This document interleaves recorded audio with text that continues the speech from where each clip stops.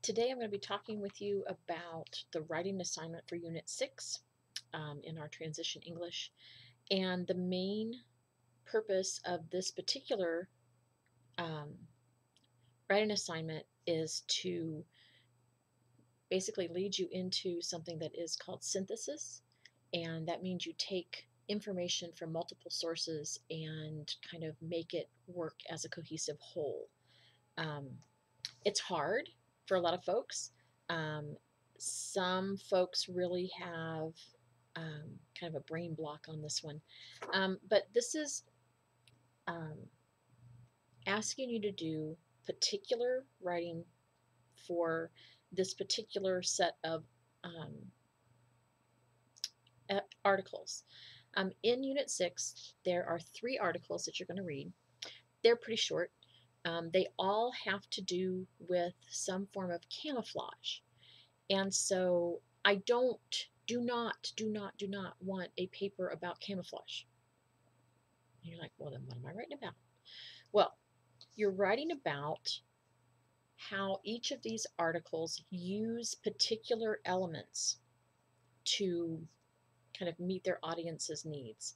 Um, these three different articles on camouflage are written for three different audiences, and they cover camouflage as a concept in different ways. And so you're going to write an essay that chooses three specific elements and explain how well each of those three articles uses them. Okay, so the first thing you want to do is you want to read the articles very carefully. Um, critical thinking kind of reading, um, mark them up, annotate, however you want to call it. Um, make sure that you understand um, the audience for each one and each one's main points. Um, it might do you a good favor to um, write your own little summaries for each of these so that you know, okay, here's what's in the article. And then after you've read them very carefully and marked them up a bit, um, your list here is the writer's purpose, the writing tone and style, the reader's goals, discipline specific language, discipline, discipline specific features, and organization. Those are your six possibilities and you're going to pick three of those. Um, and your key here is to make sure that you can make a case in each from each article that they do this. Okay, um, so a fairly straightforward one is the discipline specific language.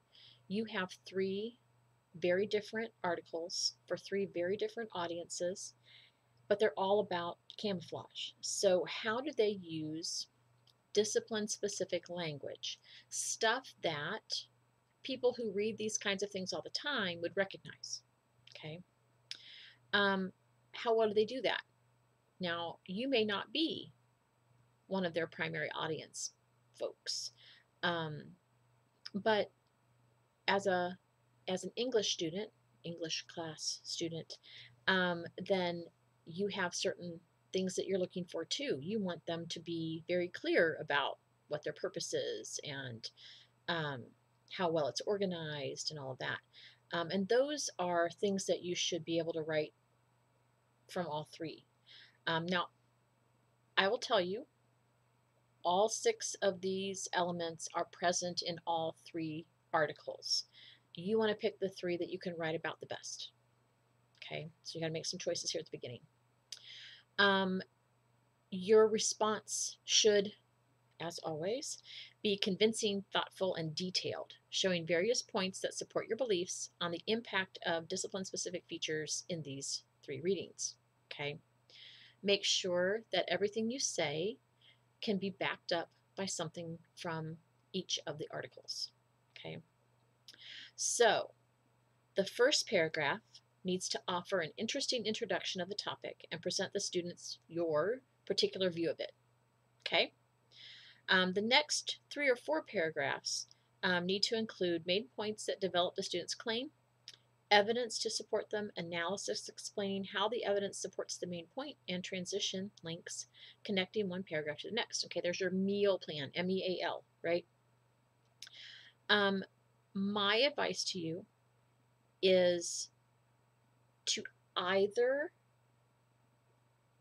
choose to lay out everything about one article in a paragraph and then everything about the next article in a paragraph and everything about the third article in the third paragraph or talk about how each one fulfills a particular purpose. Okay, your one, two, three. Either way works well. You just have to make sure that you transition between this, the sections and that it makes sense.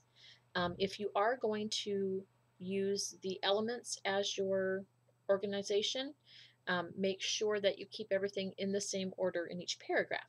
So if I'm going to start with writer's purpose, and that's going to be, I'm going to use the elements as my organizing principle, then I want to do, you know, the writer's purpose in essay one, essay two, essay three, and then the reader's goal, essay one, essay two, essay three. So make sure that your organization is very um, direct and straightforward, okay, easy to follow. Um, the final paragraph should consist of concluding remarks that effectively offer some memorable thoughts on the topic and that push readers' understanding and challenge them to look at this topic in a new way. Um, you also have a grading rubric, um, kind of gives you things I'm looking for. Um, always pay attention to the um, the first column on the left, um, which is proficient. that's your A range. And make sure that you write enough that I can see that you understand the different approaches here, that you can that you understand each of the articles, that you understand the the elements that you've chosen. Um, I can't tell you that this is oh, five five sentences for a paragraph. Um, five is a good number to point at. Um, sometimes you don't need as much, other times you need a lot more than that. So it just depends upon what you need to say. Um, remember that you do have um, a first draft, a second draft, and a third draft. I will look at each of the drafts, um, the first draft um, and the second draft, and then your final draft will be the thing that gets the percentage grade. Do your work well, do your work with integrity, and you'll be fine. Um, but again, for Unit 6, um, the places where students usually have trouble is they try to turn this into a research project, and it's not. Um, your topic is not camouflage. Camouflage and the different ways that various types of disciplines use it um, are your examples. Okay, so keep that in, in your head. Um, now you can tell me a little bit about the articles um, as you go along, and you may have to describe some things, and that's great. Make sure, though, that you're doing what the essay asks you to do. Okay. Um, and if you have questions, you know how to find me, right? Email, text. Okay. Have a great day.